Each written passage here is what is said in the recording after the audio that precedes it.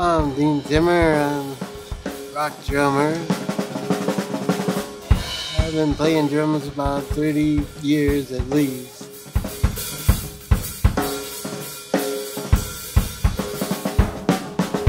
And you started with the full kit, or you started with bongos? No, I just started playing on my legs and just moved on to the drum set.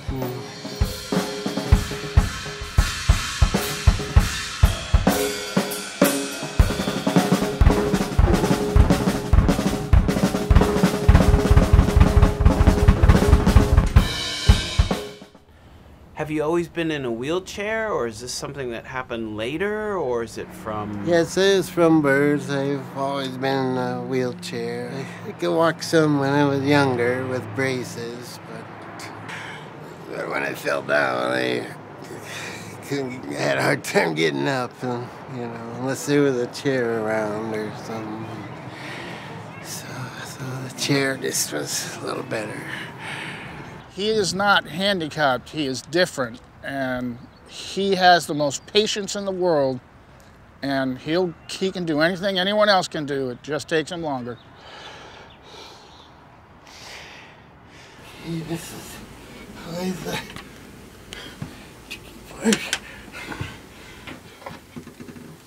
Cool. Dean Zimmer, the mean Dean drumming machine.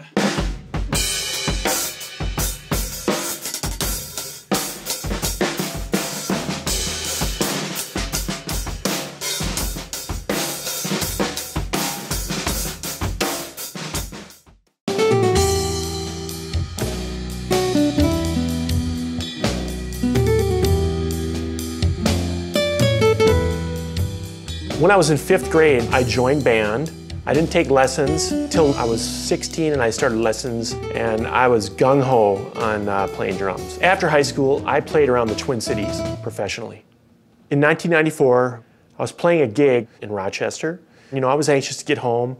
I was driving and I was getting a little tired, so I thought I would head over to the casino and maybe drink some coffee and play blackjack. And that's the last thing I remember. I guess my car went around a sharp left turn and it flipped over five to seven times and I had a C6-7 incomplete spinal contusion. I was able to move my wrists a little bit, but I couldn't really move my fingers or grasp anything. Eventually, um, I did want to get back to playing again and the counselor said, Jason, if you're missing drums so much, do a comeback concert. I talked to my musicians and they were all for it. That came to fruition a couple years after my accident.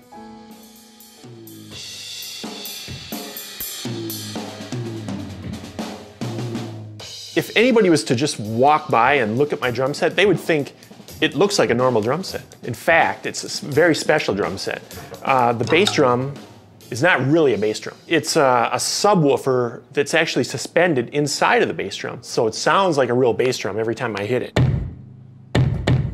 And then I use these electronic pads uh, to actually play the bass drum because I'm not doing anything with my feet. I've got this mouth trigger. When I do hit my cymbal and I'm blowing into the mouthpiece, it activates a gate that um, allows me to play a bass drum when I'm hitting a cymbal. So no matter what cymbal I hit, it will trigger a kick drum. Um, so it's really cool. So check it out.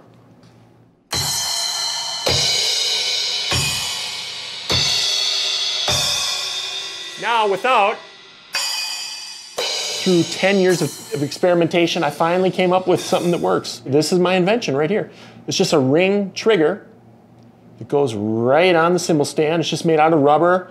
Then you just put it on there like that, put a piece of cymbal felt down, you pop, pop the cymbal on, the whole point of this drum set is for an exact setup every single time.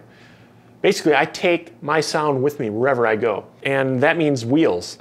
Not only am I on wheels, of course, but the drums uh, have got wheels with uh, brakes on them, so it's so easy for me to push it around. I don't have to pick it all up and reset it up. I just uh, unlock the wheels and push it out, so it makes things easy to use.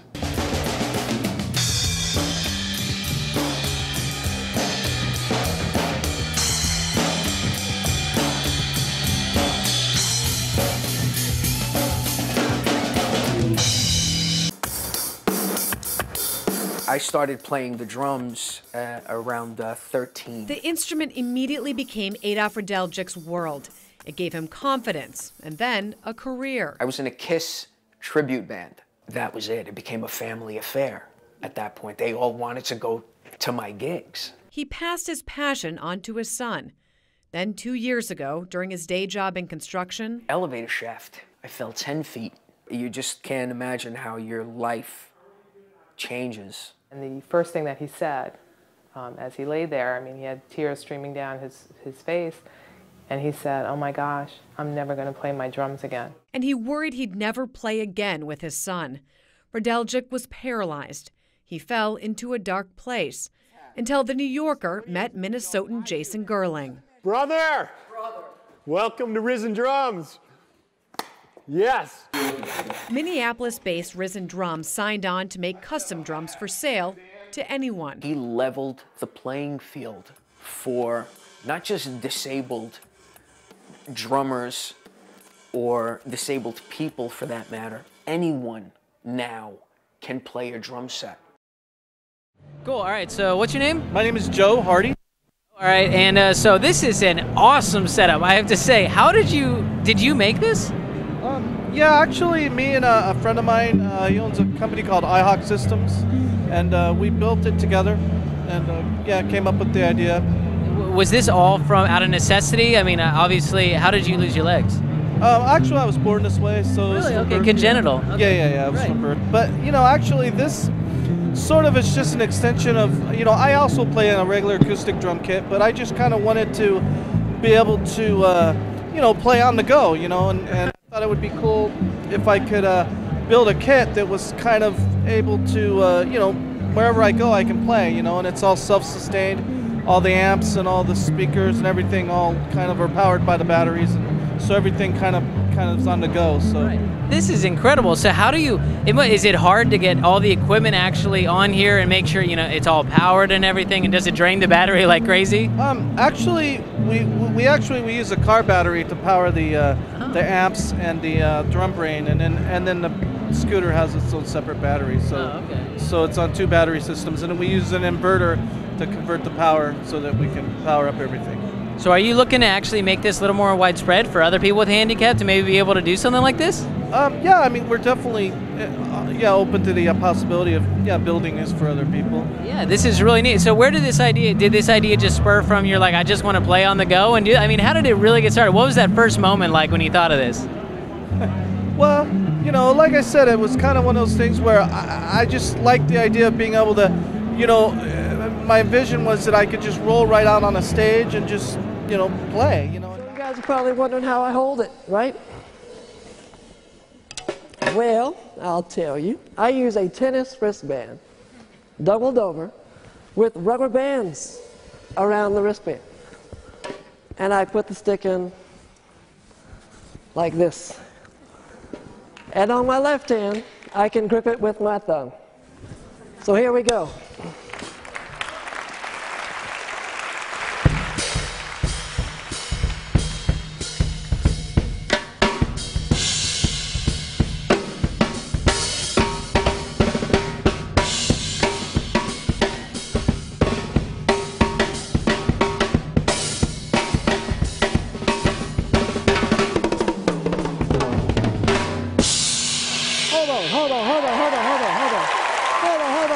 On. Look, look, look. Hold on one second. I need some help. I need some help from you guys. Okay? Y'all gonna keep a beat for me, all right? Check it out. Do this. Put your clap. Right? Come on, Wade.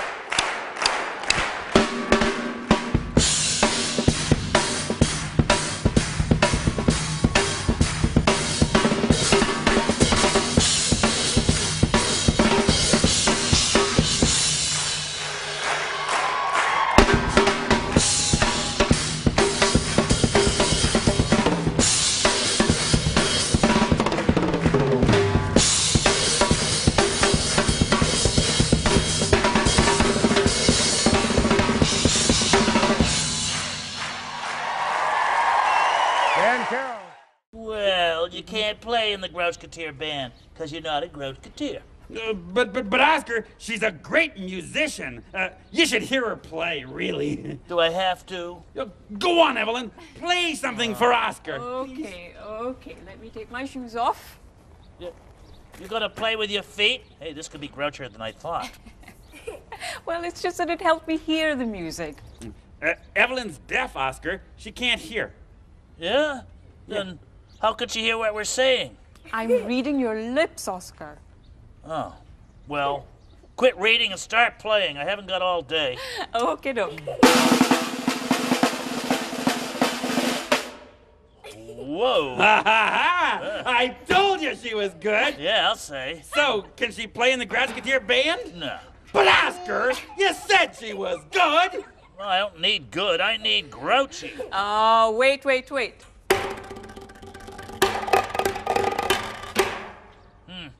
Yeah, not grouchy enough.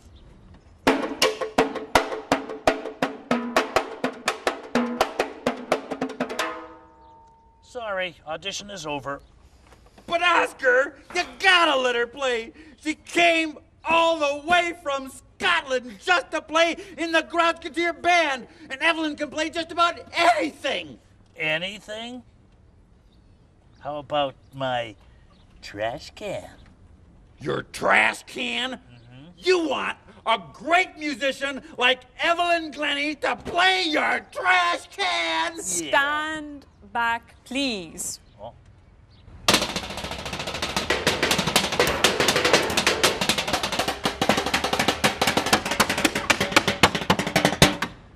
Whoa! Wow, what a sound! That was the grouchiest music I've ever heard. So, so, so can she play in the Grouchketeer band? Playing it? I hope she never stops. Oh, Oscar, thank you. And now, the Grouchketeer band will play Sonata for Crushed Cans, Torn Boots, Dented Horn, and Trash Can by Ludwig von Blachhoven. Oh, great! Yeah. okay, Grouchketeers, a one and a two and.